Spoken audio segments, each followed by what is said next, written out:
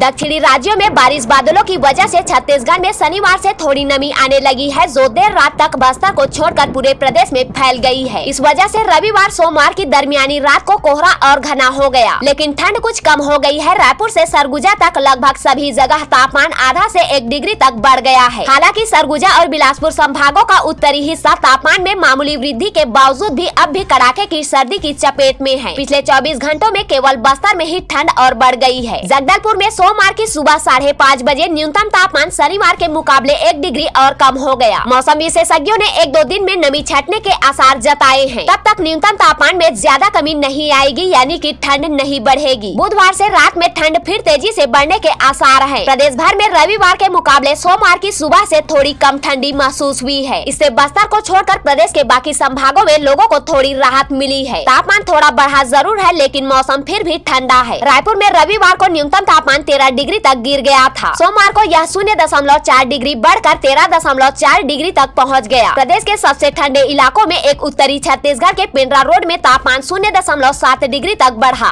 जो रविवार को दस दशमलव तीन डिग्री था हालांकि इसके बाद भी तापमान सामान्य से तीन डिग्री तक कम है अंबिकापुर में भी तापमान करीब एक डिग्री तक बढ़ गया है जगदलपुर में ठंड जरूर थोड़ी कम हुई है यहाँ रविवार को न्यूनतम तापमान ग्यारह दशमलव दो डिग्री था आज यह गिर कर दस दशमलव पाँच डिग्री आरोप पहुँच गया है प्रदेश में आज सबसे कम तापमान सात डिग्री कवर्धा में दर्ज किया गया है मौसम वैज्ञानिकों के मुताबिक प्रदेश में मौसम अभी शुष्क रहेगा अगले दो दिनों तक ठंड में कमी या वृद्धि होने के आसार नहीं है